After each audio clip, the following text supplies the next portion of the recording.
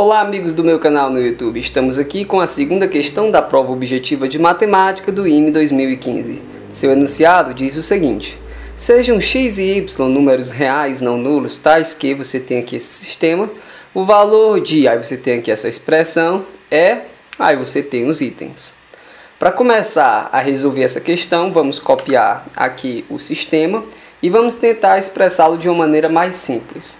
O que eu vou fazer é trazer esses expoentes aqui que aparecem nos logaritmandos, todos para trás do logaritmo multiplicando. Existe essa propriedade que te permite pegar o expoente do logaritmando e transportar para trás do logaritmo multiplicando. Por exemplo, se eu fizer isso nessa primeira equação, você vai ter esse π vai descer para cá, então vai ficar π que multiplica o logaritmo de y na base x.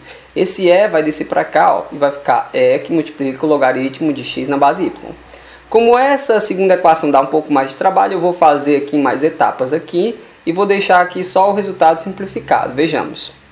Primeiro passo é trazer esse expoente aqui para trás do logaritmo. O expoente, no caso, é π elevado a menos 1, é o, o expoente do x. Então, isso tudo é o logaritmando, o expoente dele pode ser entendido como π elevado a menos 1, e eu trouxe aqui para trás do logaritmo. A mesma coisa aqui com o e elevado a menos 1 que veio aqui para trás. Pronto. π elevado a menos 1 é 1 sobre π. Como eu tenho uma fração aqui, eu posso inverter, o π vai passar multiplicando 1, e eu vou ter π em cima, e logaritmo de x na base y embaixo. Ah, do mesmo jeito que com o e elevado a menos 1. É o inverso do e, 1 sobre e. O e sobe multiplicando o 1, fica e aqui em cima. Pronto, já está mais simples do que no início, mas eu desejo simplificar ainda mais essa equação.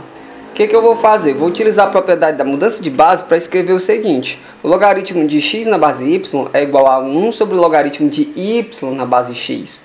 É só aplicar a mudança de base aqui embaixo. Aplicando para a base x, você ia ter em cima log de x na base x, que é 1, e embaixo log de y na base x, que está aqui. Aplicando a mudança de base aqui para a base y, você vai ter no numerador log de y na base y, que é 1, e no denominador log de x na base y, que é o que você tem aqui. Então, repetindo a primeira e multiplicando pelo inverso da segunda, o denominador vai ser 1 aqui e aqui. Então, não vai precisar nem ser escrito. Eu vou ter daqui π que multiplica o log de y na base x, e daqui e que multiplica o log de x na base y. Pronto.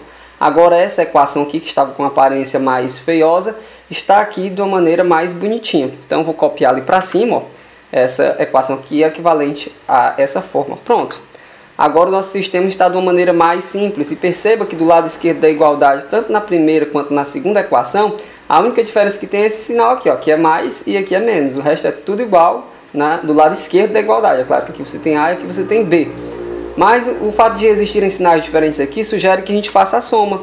A mais B vai ser essa expressão toda, mais essa expressão toda. Aqui esse cara vai morrer com esse, sobra só o quê? Duas vezes esse aqui, né? Então 2π log de y na base x. E como aqui a gente tem A menos B, fica sugerido que a gente faça também a diferença. A menos B vai ser quanto?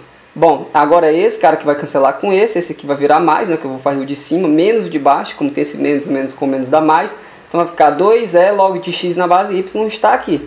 E agora é trabalhar com a expressão, né? A expressão que ele pede que a gente calcule o valor é, é x elevado a mais b mais 2e, y elevado a menos b mais 2π. Eu posso separar como um produto de potência de mesma base. Você tem aqui, ó, x elevado a mais b vezes x elevado a 2e, é x elevado a mais b mais 2e, é o mesmo aqui embaixo. Isso é bom porque x elevado a mais b é o mesmo que x elevado a 2π log de y na base x, que tu tinha encontrado aqui. E y elevado a menos b é a mesma coisa de y elevado a 2e log de x na base y, porque tu tinha encontrado a menos b aqui. Foi por isso, inclusive, que a gente fez a menos b, para poder usar aqui nesse canto. Pronto, agora você pode utilizar a propriedade da potência de potência para escrever, em vez de x elevado a 2π que multiplica log de y na base x, eu posso escrever x elevado a log de y na base x, isso tudo elevado a 2π. Porque esses caras, esses points de fora e os points de dentro se multiplicam quando a gente tem essa situação aqui. Então, voltaria para cá, essas duas coisas são iguais. É a mesma coisa que eu fiz aqui embaixo. Eu escrevi y elevado ao logaritmo de x na base y, e lá fora, isso tudo elevado a 2e, porque eu posso multiplicar esses points de dentro com de fora, aí ficaria do jeito que está aqui. A vantagem disso é que quando eu pego x elevado ao logaritmo de y na própria base x, é como se as bases cancelassem, fica só y elevado a 2π, aqui nesse caso, e aqui quando eu tenho y elevado ao logaritmo de x na base y, como essa base aqui é igual a essa, eu tipo posso cancelar e fico só com x elevado a 2e.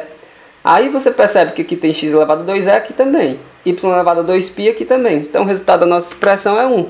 É por isso, meus amigos, que o item correto é o item A. Se você ficou com dúvidas, você pode utilizar seção dos comentários. Se esse vídeo foi bom para você, se ele lhe ajudou, não esqueça de clicar em gostei, adicionar o vídeo aos seus favoritos, inscrever-se no canal para ver os novos lançamentos. A gente fica por aqui, um abraço e até a próxima. Tchau!